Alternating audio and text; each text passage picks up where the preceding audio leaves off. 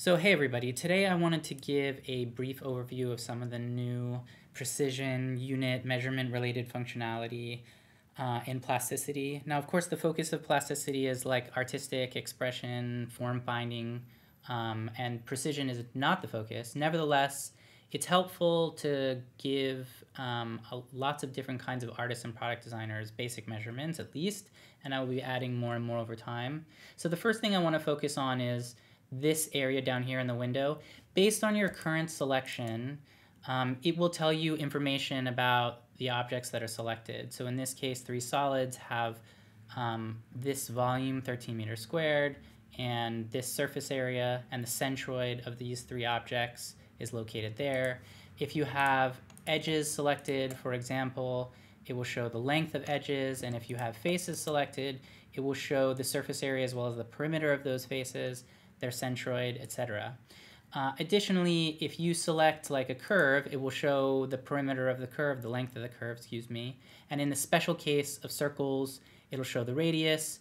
Same is true for circular edges. The same is true for like cylindrical faces. It'll show their radius and spherical faces, as well as blend faces. The radius will be displayed there. Now, another new thing you may notice is that in the dialogues, in the uh, numerical inputs in the dialog, um, units are now displayed. So that's true here as well as when using the gizmos, it will display units. Now, by default, plasticity is in meters, but if you would like the units to be something else, for example, centimeters, um, let's change the grid size to be now, instead of 120 meters, we'll make it 1200 centimeters. Um, you can now have units displayed in centimeters if you prefer.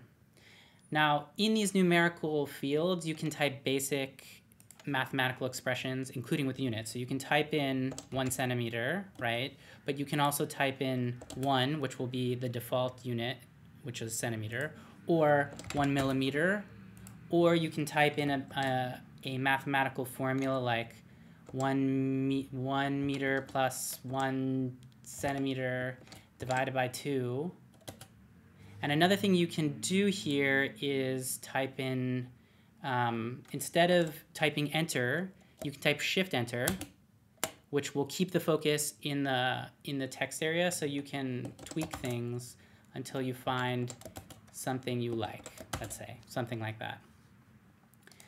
Now, a feature that's been around for a while, um, but maybe I haven't talked about, is you know you can drag in these fields and if you want to go fast, you can hold down Alt and drag. And if you want to go slow, you can hold down Shift and drag.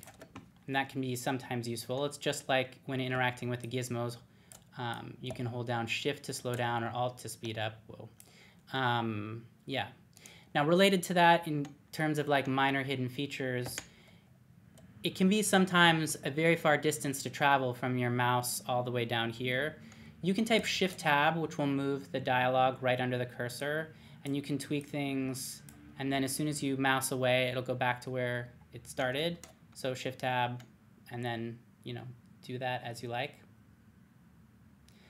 Um, I think that's it for now. Uh, still some kinks to work out around some of the precision stuff, but that's the basics, and more will be added over time. So yeah, see you soon. Oh yeah, by the way, Plasticity's launch date is April 5th, which is 15 days away. So hopefully, uh, yeah, hopefully you'll buy a copy. Awesome.